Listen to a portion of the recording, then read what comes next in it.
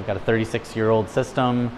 It's been exposed to the elements for 36 years rain, sun, wind, snow, you name it. And so uh, it needs to be replaced. That means the three day Metro subway link closure scheduled to end Monday is being extended.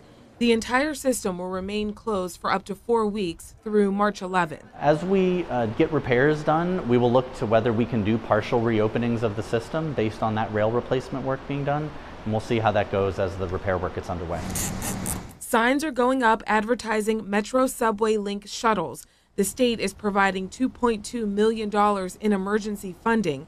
46 shuttle buses will be on the roads starting Monday morning. Two types of shuttle buses. One is an express bus, which will hit uh, start at Owings Mills and hit several stations on its way into the city.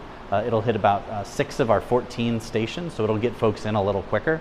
And then we'll also have a local shuttle bus that will hit each station on the way down into the city. In a statement, Mayor Catherine Pugh thanked Governor Larry Hogan for the shuttle bus funding, adding, this situation provides another glaring reminder of the needs for critical infrastructure investment, and I will be urging the state to examine the transportation infrastructure needs of the city of Baltimore and surrounding jurisdictions and align our budget priorities accordingly.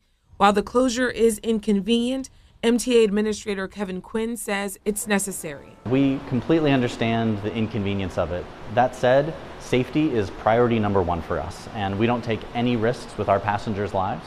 And so uh, we needed to uh, close the system down, get this rail replaced so that we have the safest system possible.